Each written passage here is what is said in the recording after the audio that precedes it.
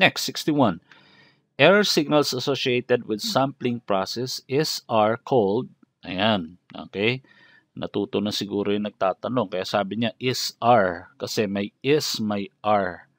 So, error signals associated with sampling process. Paano ba yung sampling process natin? Sabi natin sa sampling, that should be greater than or equal to twice of the audio signal.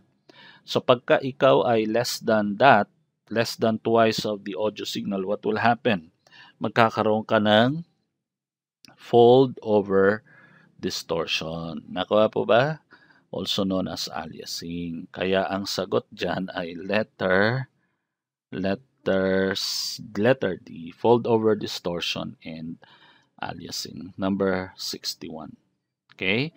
Next number, number 62. What is the modulation index of an FM signal if its modulating frequency is doubled? How do we compute for the modulation index? That is deviation over the modulating frequency. Now, what will happen if its modulating frequency is doubled? Of course, this will become half. Okay, so the answer for this is letter D, one half of the original index. So letter D. Dali lang, di ba? Walang kahirap-hirap. Pagka ganyan ng mga tanong sa board exam, perfect mo yan. 63. Why are visible light LEDs not used for fiber optics? Sabi natin sa fiber optics, ang ginagamit natin ay infrared. Bakit nagiging red siya in the process? Pag nakikita ko siya, sir, parang red ang kulay niya. That is because of the effect of the refraction over the fiber. Pero ang ginagamit talaga natin is infrared.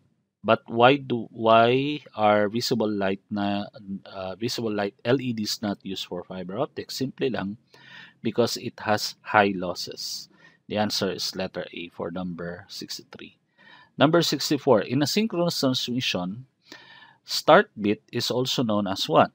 Okay, so alam natin na ang uh, asynchronous transmission ay gumagamit ng start at saka ng ng stop. Okay, at ang start ay binary 0, ang stop ay binary 1. So ano ba yung 0? Mark or space? That is space. At yung 1 naman ay mark. Okay? So the answer for this question is letter D, space. All right? Number 64, D, space. Number 65. How many bits will represent 32-bit signal level? Okay, so paano ba ang pag-compute uh, nito? Sabi natin, 2 raised to n equals m. Correct? Or, that is uh, log of m. Log of m equals n, base 2. Okay, if this is 32, 32 yan, log of 32 base 2 is equal to log of 32 base 2 that is equal to, of course, 5. Okay? So, the answer is letter D, 5. Alright? Napakadali. Very easy. Alright, rock and roll.